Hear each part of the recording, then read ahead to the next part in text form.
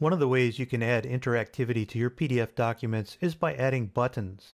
Buttons can execute script and perform commands and actions for the user when they're clicked.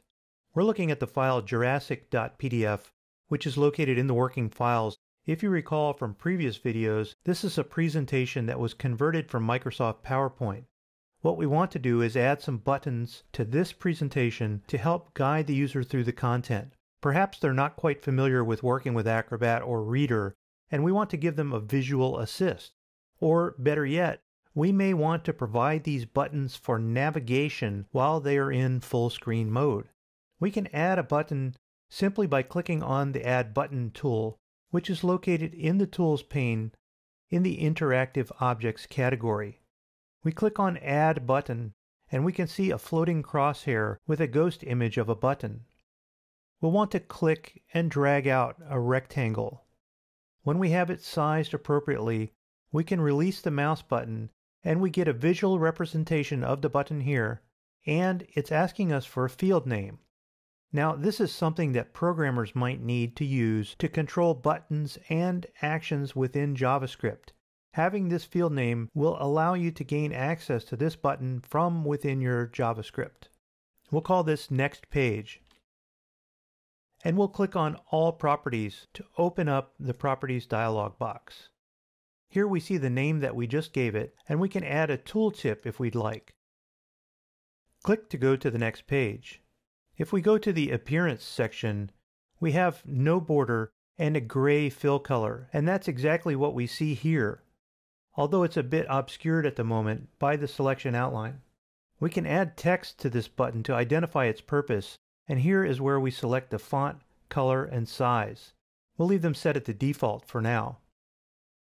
In the Options tab, we can add the label. What we'll do is click here and type the same words. Next page. When we close this dialog box, we'll see that text on our button.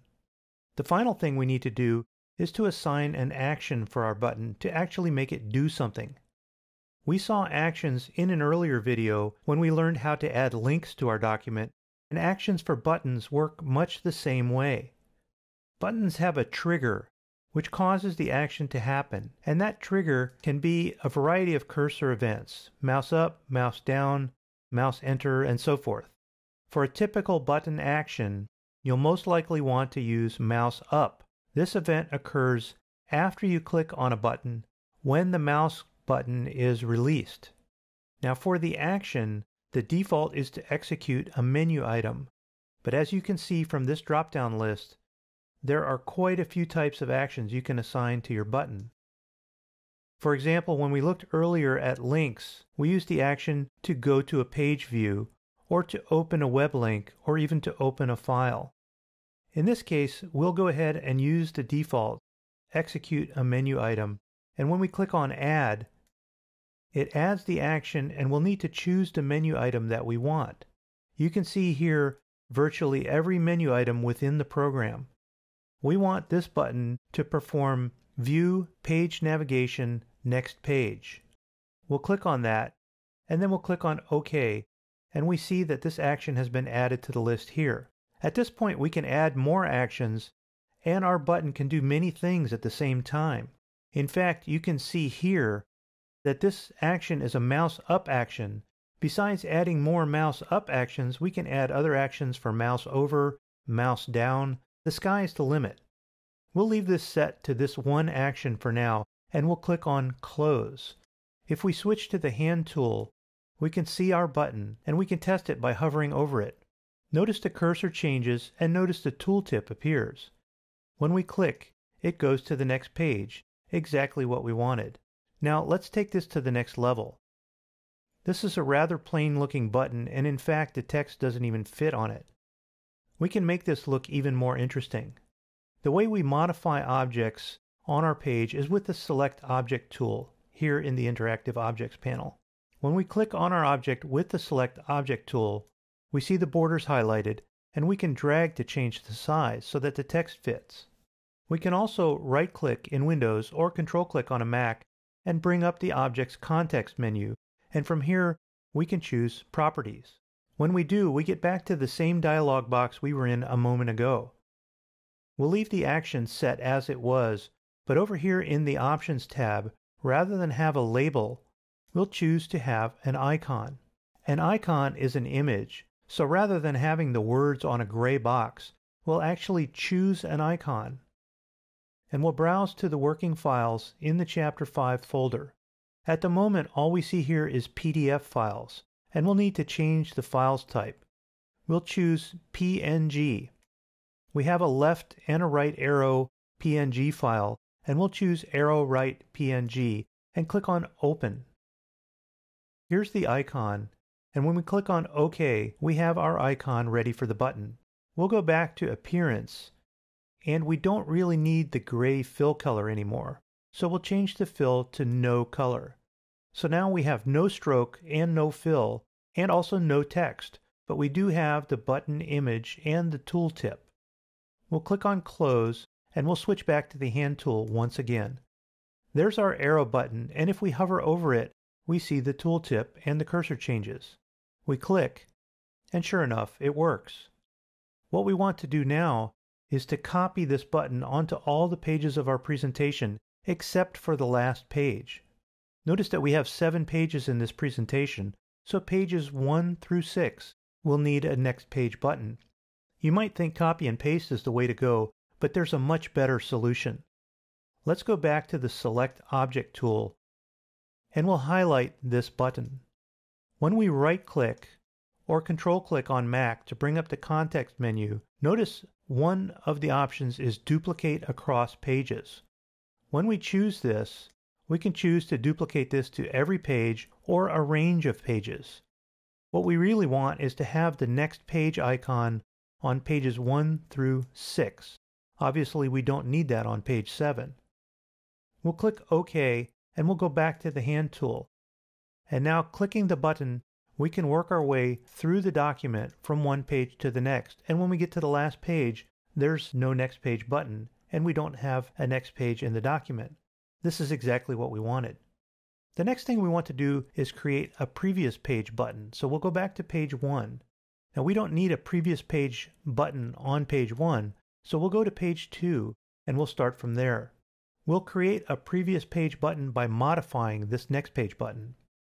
We'll use the Select Object tool and we'll select this button. Now we can press Ctrl C on Windows or Command C on a Mac, and then Ctrl V on Windows or Command V on a Mac to paste the new button into the document. We can move this over near the other one. We'll shift click to select both of them, making sure that the original button is the one with the darker border. Then we'll bring up the context menu and we'll choose Align, Distribute, or Center, and we'll choose Align Bottom. This will bring them into alignment with boldly highlighted button taking precedence. Now we'll click away to deselect, and then we'll click on just the new button to modify its appearance and behavior. This will need to be a left-facing arrow with a tooltip of previous page and a corresponding action, but right now it's exactly the same as the existing button. We can bring up the context menu and choose Properties. But here's a shortcut. If we just double-click with the Select Object tool, we go straight to the Properties dialog box. Under General, we'll change the name to Previous Page, and we'll edit the tooltip accordingly. We don't need to change anything in the Appearance section, but in Options, we want to change our icon. We want a left-facing arrow. So we'll browse back into the Chapter 5 folder, change our file type to PNG, and we'll choose arrow left.png. We'll click on OK, and now we have a left-facing arrow. We'll click on OK again, and we're good there. The last thing we'll want to do is to change the action. Right now, this action executes a menu item that takes us to the next page. We'll need to highlight the action Execute a menu item and choose Edit. Notice that if you choose the menu item itself, Edit is grayed out. But if we choose Execute Menu Item and click Edit, we can change the menu item. We'll choose View, Navigation, Previous Page, and we'll click on OK. We've changed our action, and we've changed our button image to point in the other direction, and we've changed the name and the tooltip. Now we can click on Close and we can test it out by switching to the Hand tool. When we hover over this, we see the tooltip, and when we click, sure enough, it works just fine. For the last step, we'll go back to page 2, and using the Select Object tool, we'll highlight our previous page button. We'll right-click and choose Duplicate Across Pages. In this case, we want this to be duplicated from page 2 through page 7. We'll click on OK and it's done, just as simple as that. So now we can go back to page 1 and choose the hand tool and we can test our buttons. We can navigate forward one page at a time all the way to the end of the document. And then we can navigate back all the way to the beginning of the document. So it works just the way that we planned.